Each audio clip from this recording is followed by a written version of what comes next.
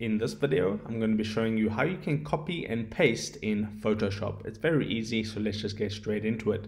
I'm just going to open up a quick file here or an image so I can copy and paste it. Okay, so I'm going to take this Instagram logo right here. Now, if I want to copy it from here into here, for an example, so I can work on it, all I need to do is select it.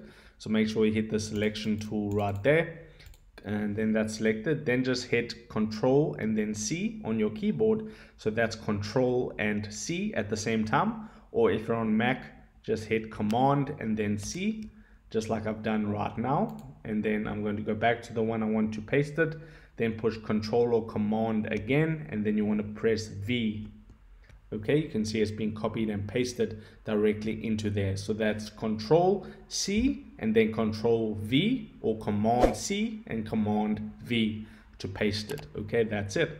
So if this helped you out drop a like onto this video and I'll see you in the next one